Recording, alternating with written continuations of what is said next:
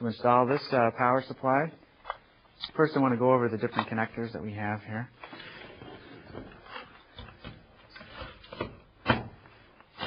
Power supplies have two sets of connectors, one for the motherboard, one set of connectors for the motherboard, and the other for disk drives.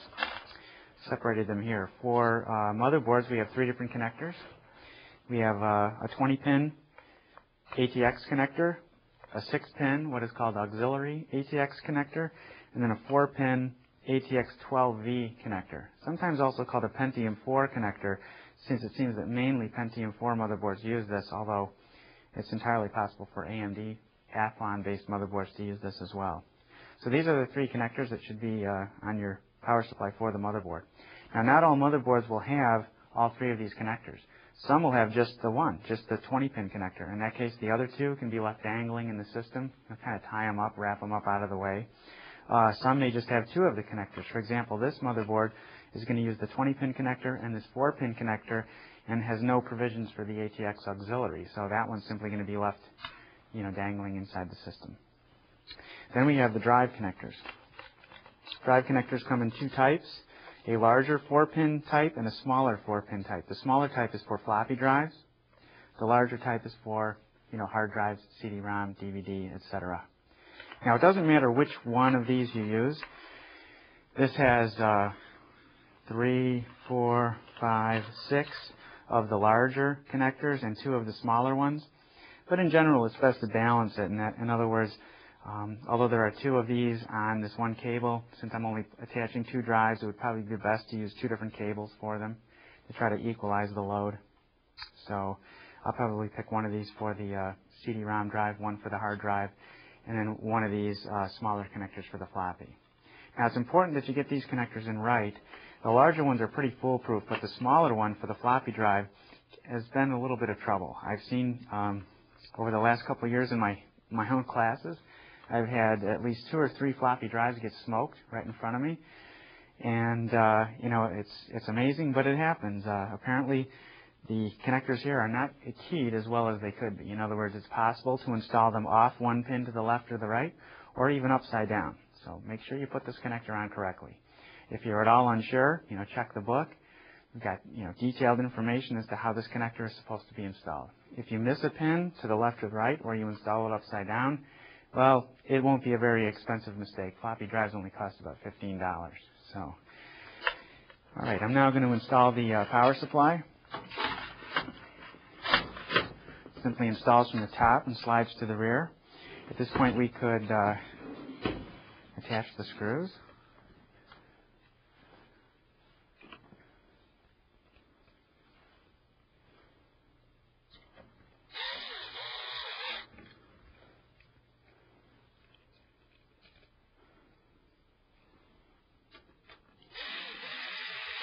There's four screws holding the power supply in place.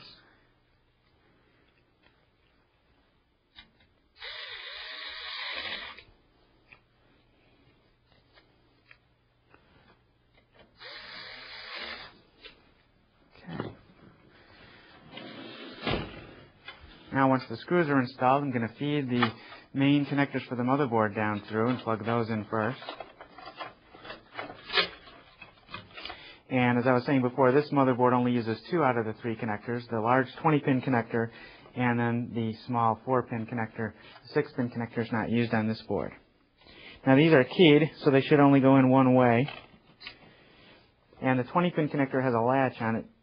Well, actually, the 20-pin and the 4-pin connector both have latches on them, so make sure that those latches are fully engaged. Fine, there's my 4-pin connector right here. The 4-pin connector has two yellow wires in it, and that's to provide 12 volts for the high-powered voltage regulators for higher-powered processors such as the Pentium 4. Um, by using the 12 volt signal instead of the 5 or the 3.3 volt, it can draw less amps through those wires. So it's a way to have a basically run a higher powered processor without overloading the uh, rest of the circuitry. Now that the motherboard is cabled, I'm going to take this uh, extra 6-pin connector and kind of just tie it up up here for now. And then I'm going to feed the drive connectors through and attach my drive. Now I need one, for the uh, hard drive and CD-ROM drive and floppy drive. Speed goes through here.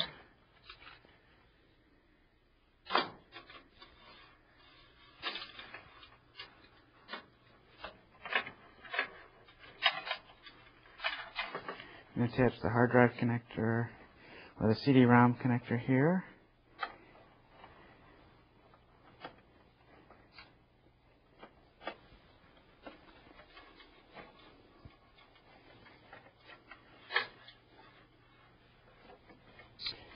Okay, and one for the drive here. And finally the floppy drive. Okay, now all the drives are cabled. I can take the remaining power wires and simply kind of tie them up uh, top of the case here. You could, if you want, you know, use zip ties and attach them so that they were stable. Okay, I'm going to set this down so can see what we have at this point. And now the uh, final connection to the motherboard are these uh, small front panel connectors. I've got connectors for the front power switch, for the uh, LED, and the speaker that's in the chassis. Now you'll need to use the uh, manual for your motherboard in order to determine how those connectors are supposed to be oriented. They're usually some small connectors near an edge of the board. I'm going to plug these in now. So we've got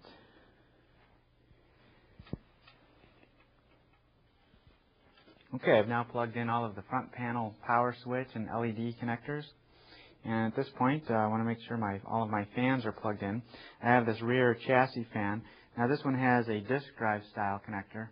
Then I can just simply plug this into any loose drive connector from the power supply, such as this one.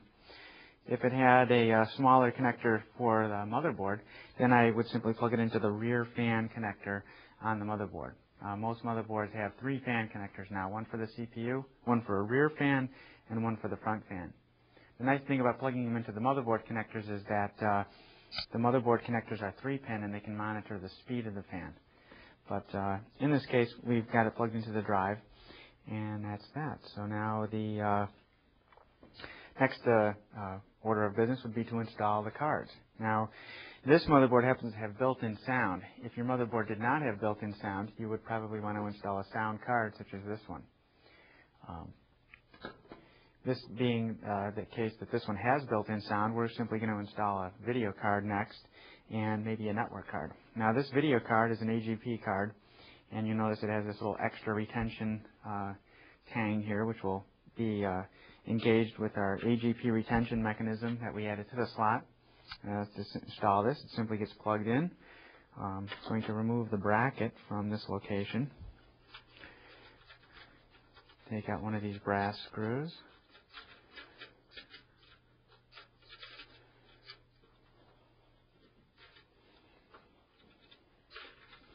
Remove the metal bracket.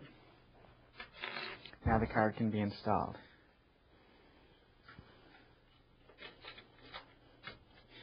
Simply push down. In this case, I'm going to move the retention mechanism out of the way until the card is fully engaged. Then take the uh, brass screw that you removed and reinstall it.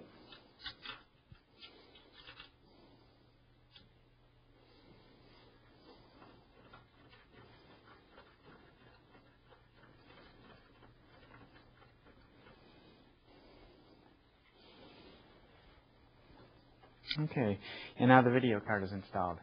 Um, we also have a network card, which we're going to install. I'll add that next. I'm going to skip over one slot, leave a little extra room next to the video card for some airflow. It's a good idea to alternate slot spacing that way. Don't use the adjacent slot unless you absolutely have to. Now this is a PCI card. It'll go into a PCI slot which is one of the white slots on the board. Simply plugged in. And again, reinstall the screw that you removed in order to retain the card.